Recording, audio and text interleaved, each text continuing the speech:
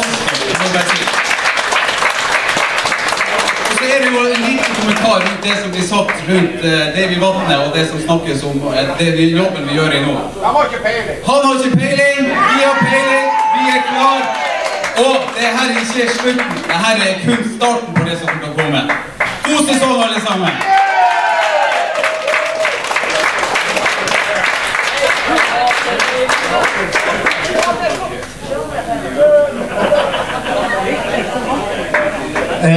would just like to introduce myself, Jonathan, uh, from Manchester.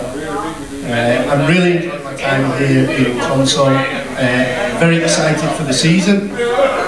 We've got a great staff, coaching staff, leadership staff, and we've got an even better young footballing team uh, that have made massive, massive progress this season in the pre-season. So I'm excited, the players are excited, the whole staff are excited, and you should be excited because I think you're going to see a different some sort team this year.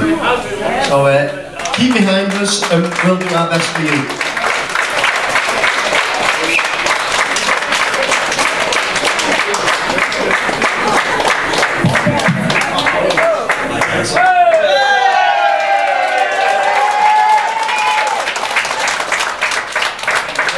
Well, I'm not going to say many things. The only thing I'm going to say about this team and about the coaching staff and uh, the players and fans, I just came from uh, the Polish champions and I have the same feeling as I had the season before we won the league. So, I uh, finger crossed. And I think if we be as passionate as passionate as you are, we will win the league.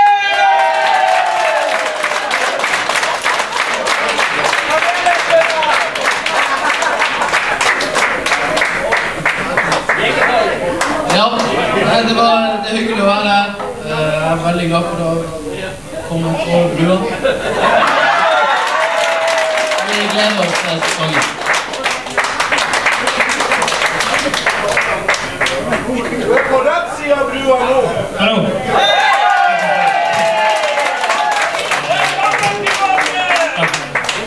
Jeg er veldig glad for å være tilbake og eh, meg veldig til sesongen.